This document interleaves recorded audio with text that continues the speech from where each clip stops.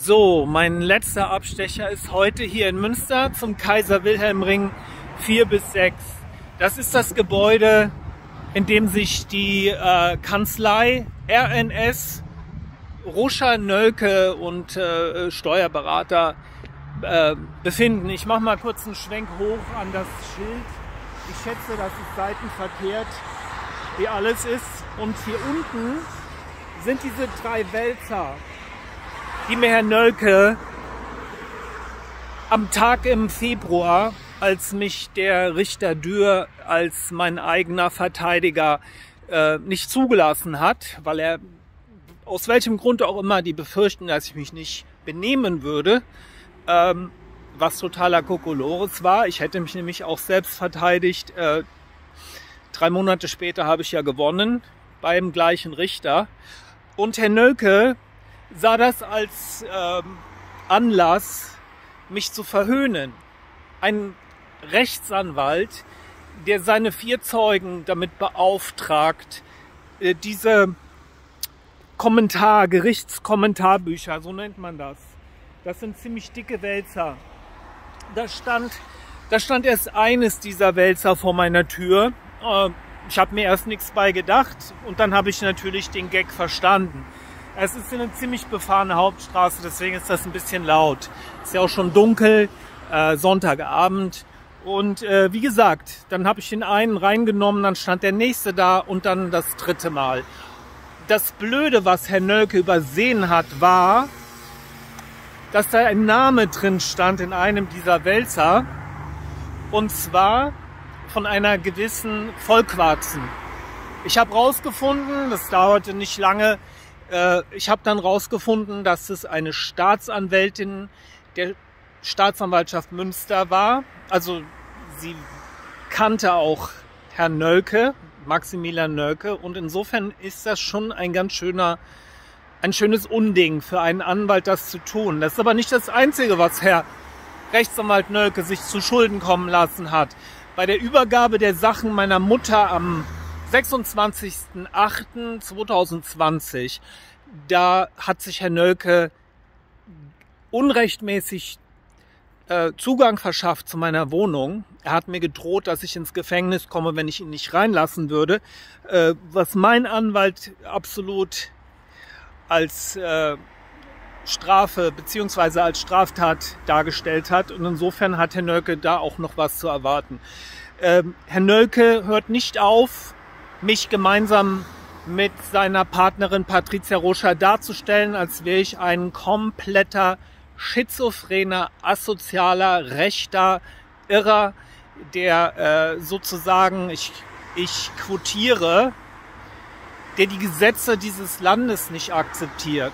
Also man muss sich das mal vorstellen, es ist absolute Volksverhetzung, was hier von diesen Anwälten von RNS, wo ich stehe, vor dem, vor dem Gebäude, wo ich stehe, die haben nichts anderes zu tun, als mir mein Leben zu zerstören. Das muss man sich mal vorstellen. Ich hatte mal eine wunderbare Karriere. Ich habe auch einige andere Sachen geschafft.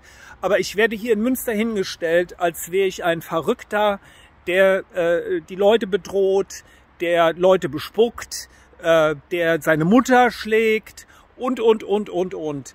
Also ähm, die Klage kam, beziehungsweise der Versuch einer äh, einstweiligen Anordnung ging von meiner Halbschwester Patricia Bellotti aus, die äh, einen Nagel in ihrem Reifen gefunden hat und äh, meinte nun, ich hätte versucht, sie umzubringen. So, das wurde weiter gestrickt von Patricia Ruscher und es wurden die übelsten Verleugnungen, äh, Erfindungen geschrieben und äh, es ist wirklich ein Hammer, was, was, was geschieht, wenn sich Rechtsanwälte, ausgebildete Juristen zusammentun, um einen, eine einzige Person, in dem Fall mich leider, komplett Ruf zu morden, zu schädigen, zu äh, darzustellen vor Gericht, als wäre ich nicht mehr zurechnungsfähig, als wäre ich eine Bedrohung, eine Gefahr für die Allgemeinheit.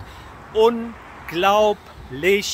Ich bin ein älterer, schwuler Künstler, der seine Ruhe sucht, der vielleicht auch noch mal eine Alterskarriere vor sich hat, wenn es, wenn ich mal irgendwann gelassen wäre. Ich werde ja seit den letzten elf Jahren mit zwölf Verfahren in die Knie gezwungen. Ich habe nichts anderes zu tun, als mich zu rechtfertigen, zu rechtfertigen, zu rechtfertigen.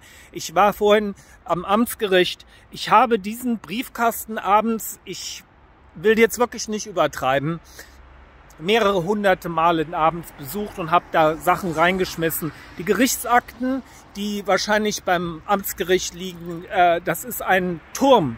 Also und da habe ich keinen Bock mehr zu. Ich möchte mein Leben zurück. Ich möchte meine ähm, Ideen realisieren. Ich habe eine Erfindungsidee, die ich gerne vor Jahren schon gemacht hätte. Höhle der Löwen wäre zum Beispiel eine Möglichkeit. Und ähm, solche Sachen hier mit diesen, mit diesen Kommentarbüchern, das geht gar nicht, Herr Nölke. Hören Sie auf damit.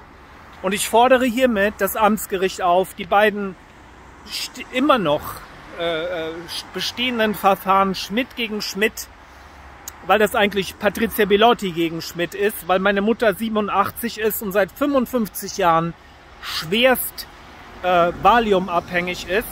Seit den 60er Jahren, seitdem ich ein kleiner Junge war, hat meine Mutter Valium geschluckt in allen möglichen Farben und Formen und ist nicht mehr geschäftsfähig. Insofern erwarte ich von der Staatsanwaltschaft Münster und dem Amtsgericht, dass diese irren Verfahren Schmidt gegen Schmidt sofort eingestellt werden, weil das lasse ich mir nicht mehr bieten. Dass mich Herr Nölke hier wie sein kleines Maskottchen jagt, seinen eigenen Sohn mit ins Gericht schleppt, um mich dahin zu stellen wie so ein, ich bin kein Zootier, Herr Nölke. Verstehen Sie, können Sie das mit jemand anderem machen? Ich weiß, dass ich ihr ähm, bis dato wahrscheinlich für immer äh, berühmtester äh, Gegner bin aber sie haben gar nichts zu melden. Sie haben nichts in der Hand und sie haben auch schon x-mal verloren.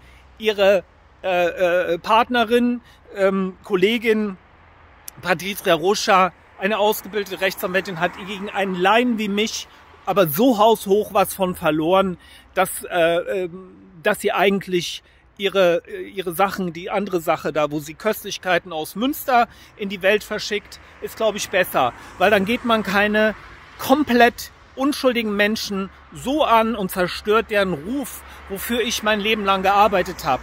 Wissen Sie, wie hart es ist, als Schauspieler Karriere zu machen, Herr Nölke? Wissen Sie das, Frau Patricia Ruscher? Ja? Ich habe jeden Tag Bewerbungen damals geschrieben, da gab es noch kein Internet. Ich habe mich bei Film- und Fernsehproduktionen beworben. Ich habe Fotos geschickt. Ich habe jeden Tag hart gearbeitet für jede kleine Rolle, die ich gekriegt habe.